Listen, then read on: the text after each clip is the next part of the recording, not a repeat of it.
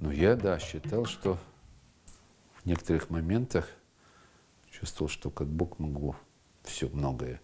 Потом это, когда не получилось спасти жену, я понял, что я не Бог. А с пациентами, да, они смотрят как на Бога, честно. Когда говорят наркоман, по интонации обычный обыватель ставит крест.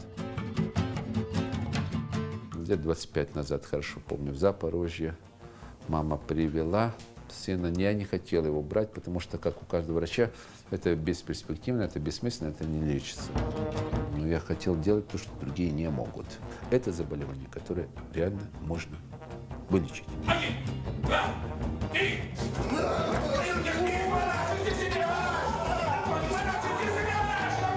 Пациент пришел через 25 или 24 года. Это интересно, сколько у него еще наркотик будет ждать. Он будет лежать уже старенький, умирать, а все будет говорить, у него наркотик ждет, наркотик ждет. Да не ждет уже, все, нет его наркотиков.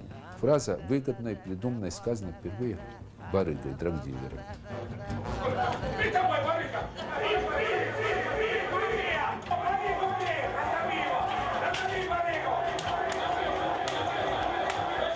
Любой человек может справиться и может победить. Любой, реально.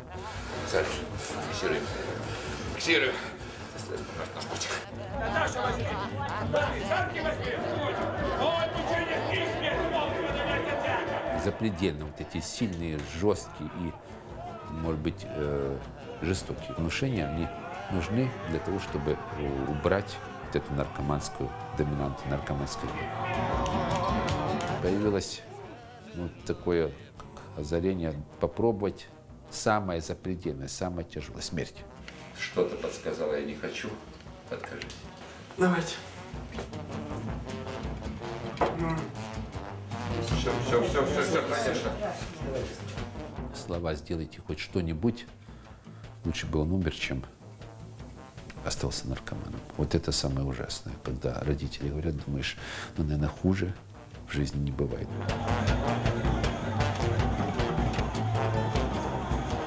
Что это? Знаешь, что это? Что? Он должен сам, не для родителей, не для кого-то, а для себя сказать, я устал. Сейчас, спасибо. Ради чего бросать? Ради жизни бросать.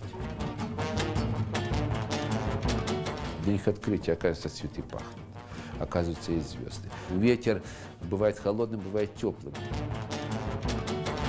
Секс, наркотик, самый сильный, самый прекрасный. Любовь, семья, работа, дети. Это и есть наркотик. Слово наркотик для меня, как э, врача, которым занимается, как-то сравнивает, я кайфую, наркотик. Наркотик есть наркотик. Для меня это дерьмо, да и все.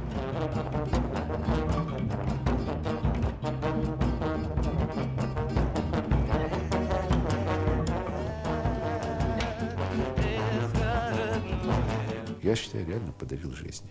Не одному, многим. И это, ну, мне нравится.